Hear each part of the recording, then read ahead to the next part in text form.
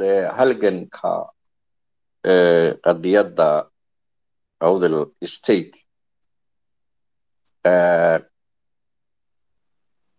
waa qadiyad ku salaysan rabitaanka ummaddeenna loona baahan yahay rabitaanka qalbiga qofka ku jira caqliga qofka ku jira ee ka dhex guuxaya in la helo dad fahma dabadeedna hoggaamiya oo hoggaankaa si markaa dee sida maanta awdal state inay ugu baaqaan ummaddu rabitaankaasi inay halkaa keenaan meeshaa keenaan. Waa mid horta ku xidhan individual inuu u fahmo inuu reer awdal yahay wax ka maqan yihiin uu isagu rabo jecel yahay waxa qofku ugu jecel yahayna waa xorriyad iyo horumar. Haddayna xorriyad jirin nabadi ma jirto waa been. Haddayna nabadi jirin cadaaladi ma jirto. Haddayna cadaaladi jirinna nabadi ma jirtaan ujeeda cadaalad waxay ka timaadaa marka aad rabitaankaaga qaadato waa inaad cadaalad fashaayo isku cadaalad fashaa. Cadaaladduna waxay keentaa nabad nabadduna waxay keentaa horumar. Intaaba reer awdal way u baahan yihiin intaaba reer awdal way u baahan yihiin intaasiba way ka maqan tahay ilaahay inta ka sokaysa ma cid kalaa kuu keeni karta miyo cidi kale kuma keeni karta waa inaad adigu keensataa rabitaankaa reer awdal waxay rabeen ilamaa dagaalkii labaadee dunida reer awdal rabitaankaa way rabeen weli ma gaadhin maanta ugu dhow marka we are close to one step. inaan gaadhno rabitaankeeda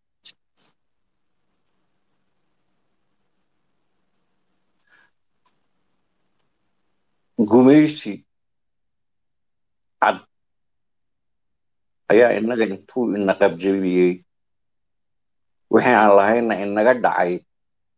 Ina dhaxal wareejiyey. Waa inaad kaa fahamto horta qaarkeen aabbayaasheen waxay ku soo koreen amba ku dhaqmeen oo inagu dhalan calaacal iyo oohin faransiis iyo ingiriis baa halkaa ina dhigay aan joogno maanta today. Qayb ka midana dalkeena etoobiya isna halkaana wuu inagu cadaadiyaa maxaarka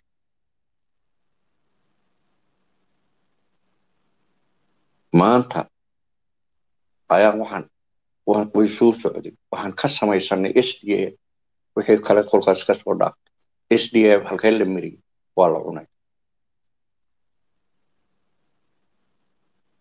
maanta waxaan haysanaa boqolaal dhalinyara oo b h d haysato aqoon meel sare ka gaadha garashadoodu aada u sarrayso.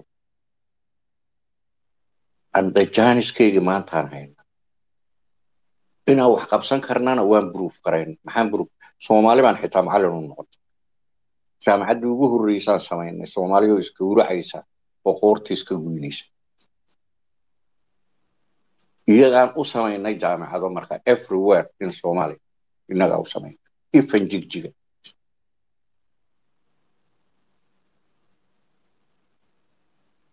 Caafimaadkii u horreeyey innagaa samaynay daktarkeennaa boorama ayaan ka samaynay ummadda soomaaliyeed baan ku daweynay waxayna soo gaari karay waayo awood aan ku socsoconno dhulka ku tegna maanaan haysan.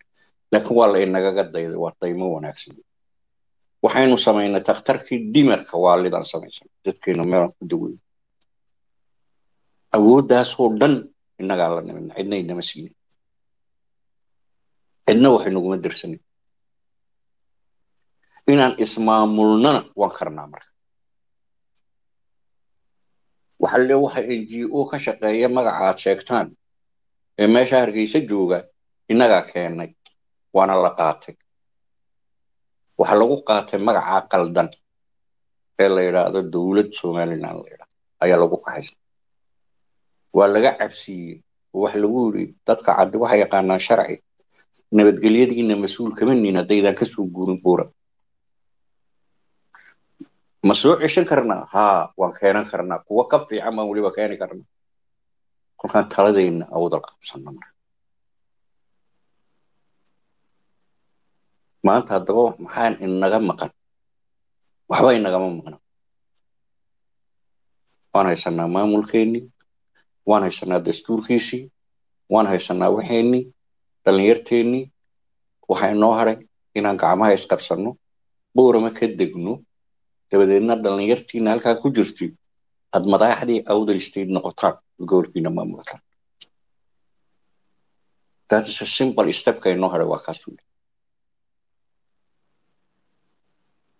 tallaabadaa keliya ayaa inoo hadhay few days after we have to be in bora dhammaantiin maxaan boorama ku tegaynaa?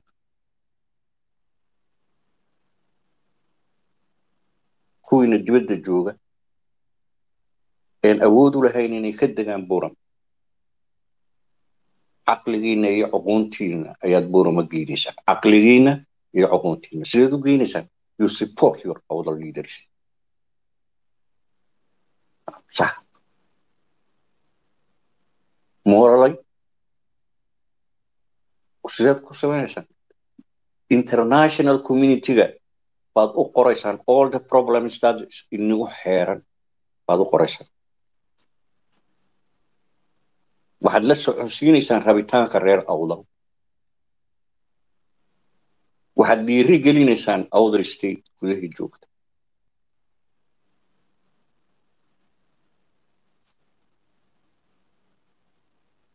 dhallinyartiina ayaad waxay rabaan la qabanaysaan awdal joogta waa intiina dibadda joogta. Kuwa gudaha jooga maamulkiina ayaad la shaqaynaysaa. Waxa uu qabsada idin yidhaana waad qabsanaysaa. Waddankiinana waad maamulanaysaa. Idinkaa isku tashan oo u tashanay dahdas waay qadiyadeenu waa taas weeye cid kuma xadgudbayno cidna ma dhibaataynayno cidna duulimaad kuma nihin dhul ay dad leeyihiinna ma doonayno ma rabno laakiin dhulkayaga meelna kama tegayno meelna ma dhaafi doono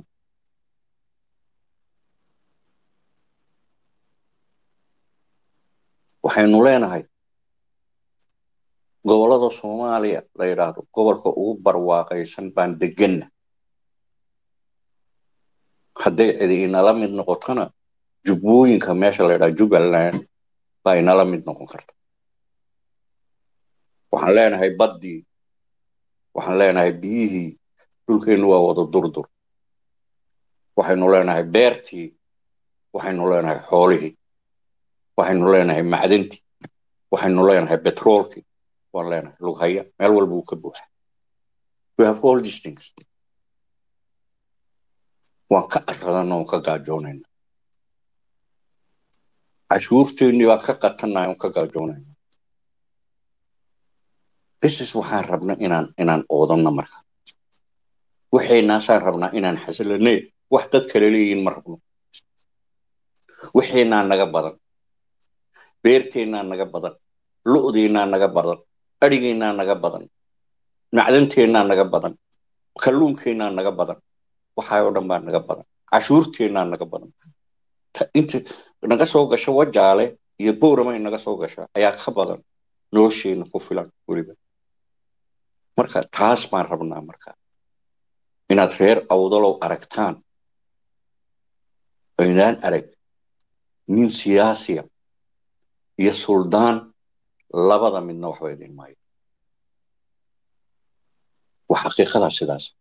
Suldaanku waa adeerkiin diidaynin ma lihi laakiin siyaasaddiina ma maamuli karo. Taytal ku maamulaba male statiska uu ku maamulayo magaceed ma politician baa ma boqortaa ciddanuu suldaanka u yahay waayo. That's a division keenna wey. Qaybsanaanteenna ayuu suldaankeennu ka turjumaa. Waa qalad suldaankeennu waxay tahay inuu sharaf yeesho uun cisayno uu meel fadhiyo uu waxa aan rabno ku duceeyo uu ku faatixeeyo. Duty. Dutygiisu maaha inuu xasan sheekh intuu u tego isagu la soo isagoo suldaan. Waa qalad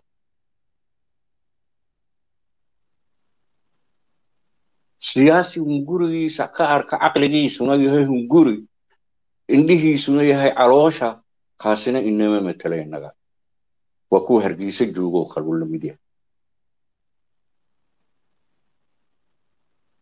Waxaad arkayseen mar dhexday ahayd nin meesha biyaha buurama looga soo qaaday lagu dilay oo soomaalida kale ah in waxoo dhaniba intay buurama yimaadeen ooyaye makti alla bixiya lalahay kuwii lagu dilay meeshii maxaa la yidhaahdaa gar adag ciduu ooyeysa maad arag oo iyaga ah kuwa hargeysa jooga maydaan arag kii wajaale lagu dilay ee askartu dishay ee waraabaha loo dhigay ee maalin walba soo eegayeen intuu waraabuhu ka cunay ee gabadhii dhashay mise la dhalatayna lagu dul uleeyey maydka umay ooyeynin kamay hadlaynin marka sow calooshiisa uma shaqaysto haa nabadda ilaashada markuu sayliciyo ini leeyahay waxa weeyaan aniga ii ilaaliya waxaan cuno. Haa dantayda ii ilaaliya weeyaan nabadda idinku aad diidaysaan maxay tahay? Meeshanaad nabadda ku diideen eed qaska ku wadaan eed dhibaatada ku samaynaysaan waa goorma halkeed ku taallaa waa goorma goormaad samaysaan waxa soo been ma ha. So ma waa kii yidhi buu la mid yahay kolkii lagu gowrgowracay semaal dadka saylicwuu hadlo wuxuu yidhi halkaa ku dhaafa reeruhu way islaayaana reeraa islaayey kuwii laayana wuu garanaya. Ixtiraafkii somaliland baa lumaye ha hadal qaadina. Youtube-ku ku jira hadaad waad arkaysaa. Waxaa ka mid a kii xildhibaanka ahaa ee kuwa ilmaadeerka ahaayeen ee hadlay ee wasiirka lagu siiyey ee yidhi ha soo qaadina february afarteeda reer awdalaha xusina haddaad xustaan ixtiraafkii somaliland baa lumaya. Oo isba kii laga dilay wuu xusaay aninkayga maxaa loo diidi inaan awoogay u duceeye maxaa loo diidi inaan aabbahay u duceeye maxaa loo diidi in adeerkay inaan xuso maxaa loo diidi? Haddii wax la wada leeyahay maxaa loo diidi? Marka kuwa hargeysa idinka jira waa kuwaas kuwa soomaaliya idinka jiraana waa ka sii liitaan. Idinma xasuusnaba idinmaba ogaba kuwaana uma baahnidin siyaasiyiintaa uma baahnidin. Uma baahnidin. Waxaad u baahan tihiin siyaasad idinku had leedihiin oo buurama fadhida. That's what you need. Mid xamar fadhidana uma baahnidin. Mid hargeysa joogtana uma baahnidin. Waxaad u baahan tihiin tu idinku had leedihiin oo boorama fadhida oo idiin fikirta ood la xisaabtantaan oo horumar idiin samaysa oo wanaag idiin samaysa that's waa kaas weeyaan. Ballanteennuna waa taas weeyaan.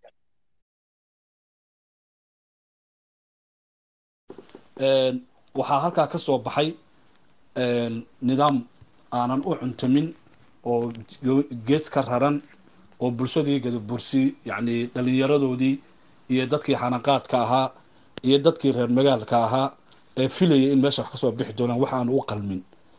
Juuduubkaasi iyo odayaashii laftooda oo dib loo cusboonaysiiyey iyaga yacni waxqabadkoogii iyo mandatekoogii oo dib loo cusboonaysiiyey oo ku bilaabay yacni suldhabaale iyo madax salaaxid bulshadoodii. Bulshaduna markay gadoodi oo yidhaahdaan waxaa nooma cuntamaan. Waxay yidhaahdeen maadaama soomaali burburtay waxaynu ilaashanaynaa nabadda waxaynu doonaynaa inaynu caruurtayna daydaynimada iyo dibjirnimada iyo dhuljiifnimada aan kala dabaalano marka inta la miiraabayo oo la soo dee dadku hagaagayaan bal hala samro. Hala samradiibaa waxaa ku timid inuu haddana inaa rayaale uu haddana meeshii uu dee geeri ay meeshii geysay. Ina rayaale markuu meeshii yimid haddana waa loo tegay mar kale. Dabadeedna waxa ina rayaa af buuxa uu ku yiri inankiini baan ahay anaana maanta meesha joogo. Dabadeedna waa in aad maxaa la yihahdaa aad aad ku qanacdaan maadaamaan inankiini ah. Waa taariikh aada u dheer oo u baahan in laga garaabo oo u baahan in laga garnaqsado oo u baahan wixii qaladkii markaa dhacay in bal isla eego halkay ka timid. Tii oo jirto oo bulshadu ay weli sidii ay dibnaha u ruugayaan ayaa haddana ku timid nidaamkii kale oo siilaayo qabsaday odayaashii iyo dadkii waxgaradka ahaa iyo dhalinyaradii waagii hore yaryaraayo rag waaweyn noqday haddana kamaysan daalina waxaa mar kale lagu eegay bal in loo garnaqsado layihahdo warda sidaa nama qaado haddii shalay inanka iyagii uu joogay daraadna ay meesha la yabyabayay. Inagaynu aynu qeyb ka ahayn waxaa dhismaha somaliland maanta la sheegaya aynu dhaqaalo badan gelinay. Dee waxaynu u baahannahay in dee bahashii gogasha la ballaariyo. Hadaladii meesha ka soo baxayna waad ogeydeen.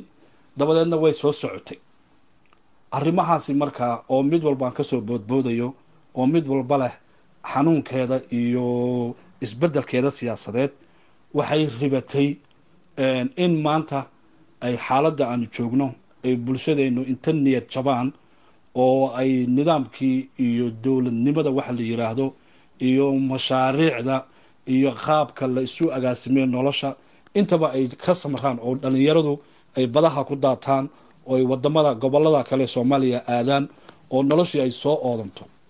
Intaasi waxaa sii dheer maamulka la baxay somalilan waxa weeye waa meherad xaami ah oo wixii rayaalla ka dambeeyey dhaqaalo fara badan ayuu caalamka u soo faraqay dhaqaalahaasi oo loogu talagalay horumarinta waxbarashada caafimaadka arrimaha bulshada kaabayaasha dhaqaalaha intaba in lagu kabo.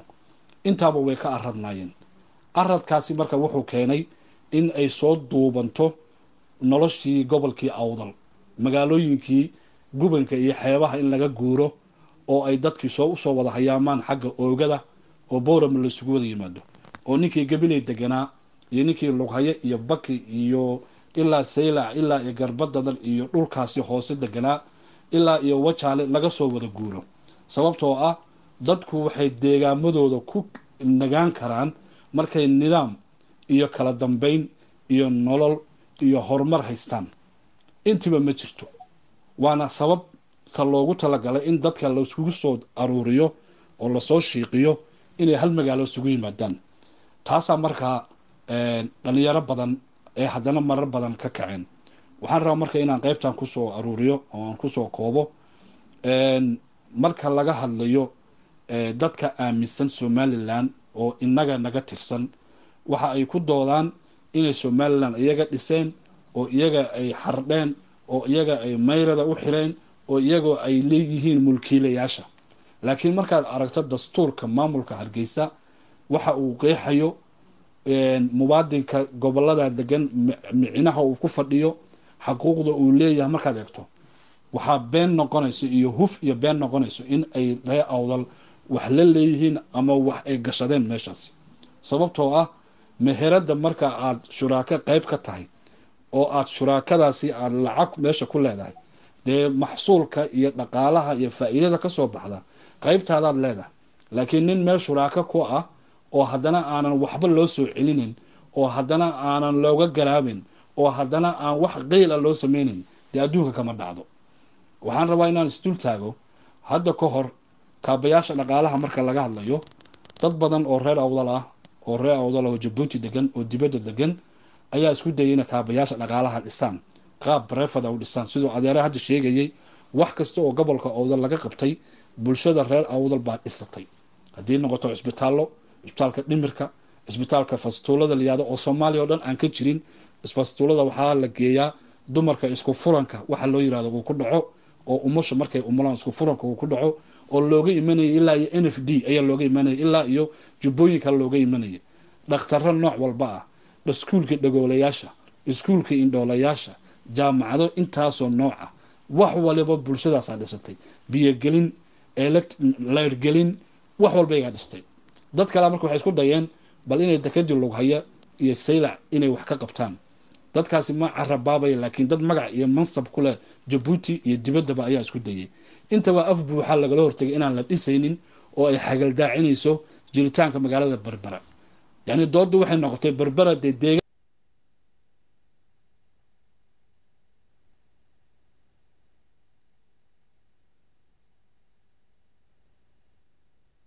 b kalluumaysiga laga dhigo warshado lagu rakibo qaybna qaybta bagashka iyo arrimaha laga soo dejiyo ama laga dhoofiyo waxa gobolka uu dee dalaga ka soo baxo oo meel walba la geeyo. Arrimihii dhan waxay noqdeen hal bacaad lagu lisay. Eeraboorka aad aragtayne borama oo shaqaynayay ilaa iyo intii yani laga yani afqabashadii ugu horeysay ee magaalada borama lagu sameeyey ee hay'adihii ay ka guureen oo amnigii laga saaray oo n g o yaasha deganaa laga raray oo kaabayaasha dhaqaala laga raray eeraboorkaasi oo markaa shaqaynayay oo eeraboorka keliya ee shaqaynaya ahaana in badan baad aragtay iyadoo dhagax la dhigayo. Nin kastoo yimaado dhagax buu dhigaa. Dhagaxaasina hadhow waxa weeyaan dadka dadkaunbaa ku turan turoodo uu dhib un u geystaa. Waxaan dhegaystay oo aada youtube-ka ku jiro oo uu xilligaa joogay nin layihahdo sacad cali shire aan u malaynaya iminka inuu maaliyadda u xisaabsan yahay somalilandta ayaa su'aal la weydiiyay isagoo magaalada bolama joogo waxaa lagu yiri eeraboorada bolama iyo laascaano iyo ceerigaabo maxaa loo dhisi waayey? Berbere iyo hargeysaba iyo burcaba waa la dhisay. Af buuxu wuxuu ku yidhi annaga qorshaha nooguma jirto. Saddexdaa eeraboor in la dhiso. Waxaad maqlaysaan cumar yare oo reer awdala oo awdal ka soo jeedo oo wasiir sheeganaya oo leh borama ooma baahna eeraboor ee dadku ha ka soo degaan eeraboorka hargeysa.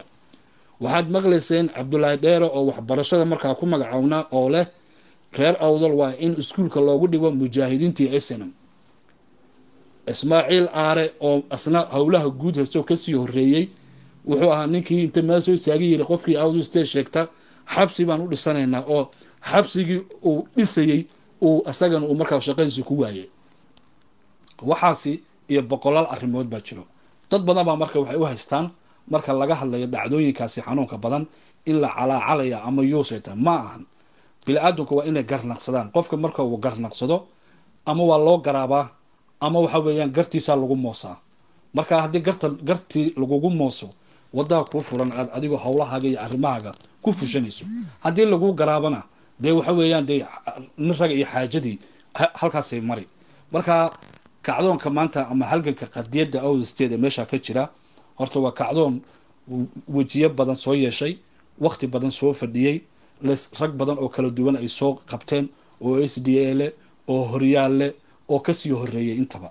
Maantana dee ay taagan tahay xilligii ugu dambeysay oo ay bulshadu waayo bulshadu marba waxaa jira waxaa layidhaha dharaarba awr baa dhaansha. Saban waliba dad baa taliya waxayna ku taliyaan caqliga iyo garashadooda iyo waayo aragnimadooda iyo sida marka ay olo muuqato in bulshadooda wax loogu qaban karo. Maanta marka dhalinyaradii intaas oo sano iyagoo dee sabi ah yani ku weynaaday wax maqan iyo tabasho ku weynaaday. Maanta waxay taagan yihiin cid aan wax ka tabanayna ma jirto cid aan wax ka doonayna ma jirto waxa yaga ayaa inagu filan. Anigoon taasaan aaminsanahay. Siduu adeera hadda sheegay hargeysa iyo meel kale wax inooga maqan ma jirto. Gobolkeenna ama goboladeenna waynu isku filannahay. Waxaa keliya u baahannahay inaan fahano inaan u baahannahay inaan inaga isku filnaasho gaari karno. Intaa keliya u baahannahay qof kastoo dhalinyaro ah wuxuu xaq iyo xaquuq u leeyahay hal abuurka iyo curintiisa inuu ku biiriyo halganka socdo ama gabar ha noqdo ama wiil ha noqdo. Dadka soomaaliyeed ee wanaagga jecel ee gobolladeena ku nool horeyna ugu noolaa iminkana nayaayiro iyo naruuro ka qaba inay ku soo noqdaan iyaguna sidii hore ay u joogaan bay u iman laakiin gobolka gobolka lexjecladiisa waxaa iskale ninka iska leh. Laakiin nin kale intuu gobolkaaga maamulayo oo amniga nin kale uu gacanta kugu hayo oo sirdoonka nin kale uu gacanta kugu hayo oo canshuurta uu nin kale gacanta kugu hayo gobolkaaga weligiina ma hormarayo amnina ma noqonayo. Nabadan la sheegayna waa nabad aan damaanad haysan.